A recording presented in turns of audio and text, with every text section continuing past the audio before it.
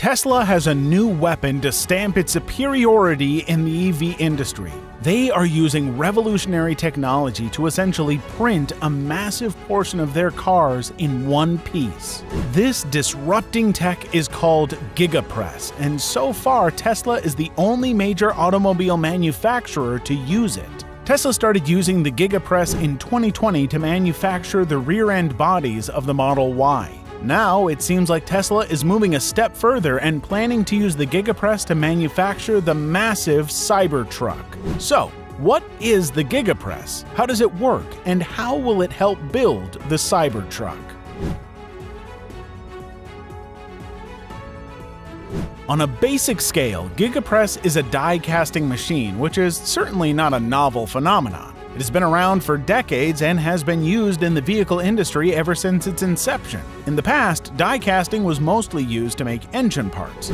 Cadillac, BMW, and Audi have all used casting, but it has never been used at such a massive scale. The idea of the GigaPress was put to test by Idra Group, an Italian company founded in 1946. They made a name for themselves in the die casting industry around Europe, but it wasn't until 2019 that they came up with their most ambitious project. They built a 5,500 ton die casting machine, which did not succeed immediately. Success did not come easily.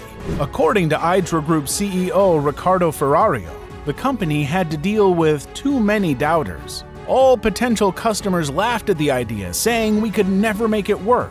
That was until Elon Musk came knocking. We know how bold Tesla is when it comes to innovation, so everything was put into motion swiftly, and by 2020 the first GigaPress was in operation at the Fremont factory. This die casting giant was 20 meters long, 5.3 meters tall, and weighed over 410 tons. According to Musk, the machine was so big that it initially did not fit in the factory and had to be covered with a makeshift shelter in the parking lot. Despite the colossal size, the GigaPress works with the same principle as normal die casting. So, it works by forcing molten metal alloy inside a reusable mold, then opening the mold to remove the finished piece after it has solidified. The open mold is cooled to 185 degrees Celsius and cleaned by robots. And fresh molten aluminum is prepared for the next cycle to begin 1 to 2 minutes after the first cycle.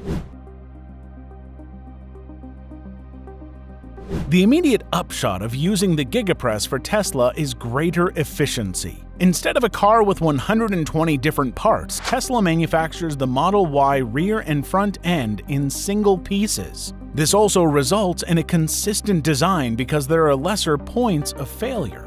Getting the car in one piece also means that no parts need to be welded or glued. So GigaPress combines the whole manufacturing process into one giant machine, cutting down time, cost, and any inefficiencies since every part will be a replica. This also reduces the vehicle weight by 10 to 30 percent depending on the mix of steel and alloy used. Now, if you're into electric cars, you know that weight is a massive consideration to optimize vehicle performance. By optimizing the whole process, GigaCasting allows Tesla to build the Model Y in just 10 hours. In comparison, Volkswagen needs 30 hours to build the ID3. Lesser parts also greatly reduce the manufacturing footprint.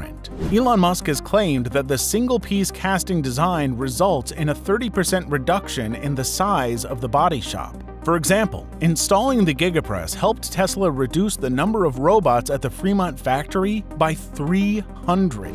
As of October 2021, Tesla has five casting machines installed at Giga Shanghai, two machines installed at the Tesla factory in California, two machines installed at Giga Berlin, and two machines at Giga Texas, plus foundations in preparation for many additional GigaPress machines. Safe to say, this has helped Tesla with its production numbers. Despite the COVID 19 related shutdowns that impacted Giga Shanghai, Tesla has already delivered more than half a million vehicles in the first six months of 2022. That represents a 46% increase in vehicle production from last year, and Tesla expects to achieve more than a 50% average growth rate by next year.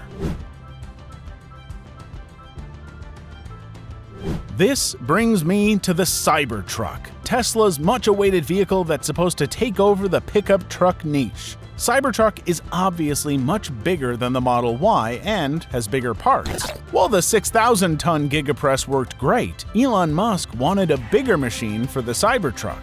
In his own words, we're actually going to be using even bigger casting machines for the rear body of the Cybertruck because it's a bigger vehicle and you've got a long truck bed that's going to support a lot of load. So we'll be using an 8,000 ton casting press for the rear body casting, as opposed to the 6,000 ton for the Model Y. Tesla's go-to company for the new Gigapress was of course Idra. They've been working on a bigger Gigapress since last year and have given out exciting updates since the start of 2022. Toward the end of May, Idra posted a YouTube video of the latest, more powerful Gigapress in action. This new machine is 50% more powerful than the one being used for Model Y, which means that it has a clamping force of 9,000 tons. 1,000 tons more than Elon Musk anticipated for the Cybertruck. Idra initially chose to keep things quiet on the Gigapress and Cybertruck connection. In fact, their website still doesn't explicitly mention the Cybertruck. Instead, the introduction to the Gigapress mentions its use in SUVs and small truck markets. However, Elon Musk spilled the beans himself by a simple comment under the video of the Gigapress being assembled. So he has all but confirmed that the 9,000 ton Gigapress is meant for the Cybertruck. This also confirms that Tesla is close to sending the Cybertruck into production. If you have followed the Cybertruck story, you might know that many online sources have questioned whether Cybertruck will actually become a reality or if it was just a prototype meant to market Tesla. Well, the Gigapress development all but ends those rumors. Elon Musk also weighed in on the subject during the Cyber Rodeo event back in April. Production of Cybertruck is coming next year. We will be in production with Roadster and with Semi. That's all coming. This year is all about scaling up, and the next year there's going to be a massive wave of new products. So it seems that 2023 is the year of the Cybertruck. Elon Musk and Tesla have been known for putting out ambitious timelines, but this one seems closer to reality because Idra has now finished construction and testing of the Gigapress and is in the process of disassembling the machine. Once it is disassembled, Idra will ship it to Giga Texas, where it will be reassembled and put into operation to build the Cybertruck. From what we have heard of the Cybertruck so far, it will famously be built from 90% recycled stainless steel. And in traditional die casting, the metal is heated to a molten form and then poured into a mold to create the final shape. Since aluminum has a significantly lower melting point than stainless steel, it is easier to use a gigapress to build the Model Y's aluminum body. So, it'll be interesting to see how this new gigapress deals with the Cybertruck's body. It's certainly going to be an interesting watch. Apart from being a stainless steel structure, there are other very interesting features of the Cybertruck. It has been dubbed as Tesla's greatest creation to date, and the features do look promising.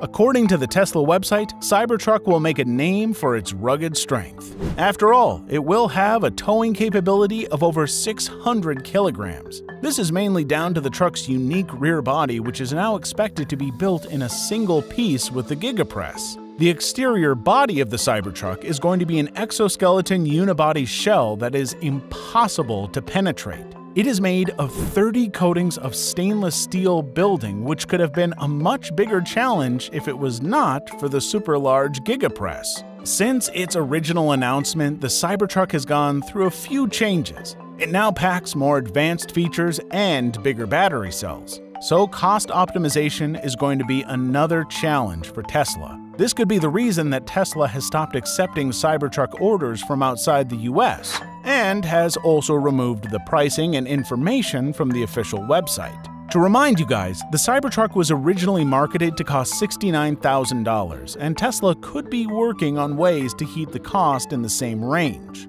Gigapress can be the solution to this problem because, in addition to improved efficiency and time saving, it could be a great tool for cost cutting as well. As I've mentioned, the Gigapress reduces the parts needed to manufacture a vehicle. It also eliminates the labor costs necessary to assemble all the components. Musk has himself said that the process reduced the size of the body shop by 30%, and I think that also might be the amount Tesla's saving in the long run. I'm pretty sure this isn't the last Gigapress we see.